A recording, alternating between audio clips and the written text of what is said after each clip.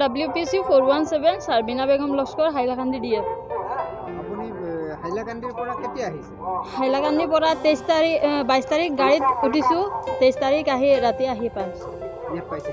আপোনাৰ এই কেঁচুৱা যে আছে আপোনাৰ লগত কেঁচুৱা লৈ পেলাই আপোনাৰ ডিউটি কৰিবলৈ অসুবিধা নহ'ব? এই ডিউটি দি দিছে আৰু কমপ্লেইন কৰিলে কি হ'ব মানে কমপ্লেইন কৰিছোঁ মানে আৰক আৰক কৈছে ডিউটি আছে যাবই লাগিব মানে কেঁচুৱা পেচুৱালৈ নমুনা নকৰিব এনেকৈ কৈছে।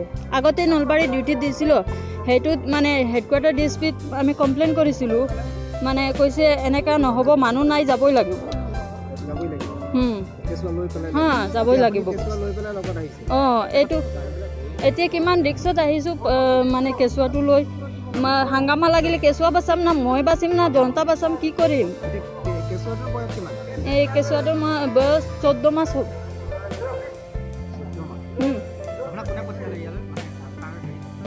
ইয়াতে মানে ডিউটি পৰিছে আহিছোঁ। আৰু আংকমি কলিতা। এতিয়া আপুনি কোন এৰিয়ালৈ যাব? এই area Sarupata L P school Sarupata সৰু সৰুপাতা। এতিয়া ডিউটি দিয়া টাইমত কেঁচুৱাটো কি কৰিব? কেঁচুৱাটো এনেকৈ ৰাখিব লাগিব। অঁ ডিউটি কৰিব। কৰা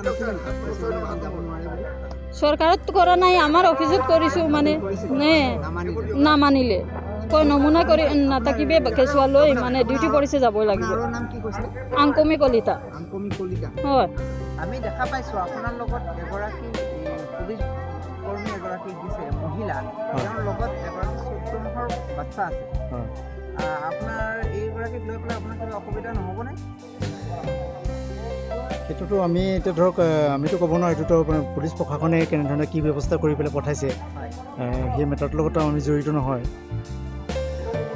আৰু আপুনি গম পাইছে নাই আপোনাৰ লগত যে এগৰাকী তেনেকুৱা বাচ্ছা কেঁচুৱা লৈ পেলাই আছে? মই এতিয়াহে গম পাইছোঁ এই কথাটো। আপুনি আপোনাৰ এ, ওপৰৰ মহলত জনাইছেনে আহ, কথা নাই এতিয়ালৈকে মই জনোৱা নাই এতিয়া ছেক্টৰ অফিচত খুব মানে খুব সম্ভৱ তেওঁ মিটিঙত জড়িত হৈ আছে। গতিকে মই জনাব পৰা নাই।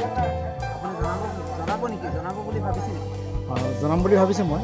কাৰণ এনেতো আপোনাৰ পুলিচ পাৰ্চন ফিমেলটো দিছে বাৰু। কিন্তু কথাটো হ'ল কি আপোনাৰ লগত বাচ্ছা আছে। তেনে ক্ষেত্ৰত মানে কথা হ'ল কি কেনেকুৱা ধৰণৰ কি ব্যৱস্থা ল'ব সেইটো মই ওপৰ মহলত মই জনাম।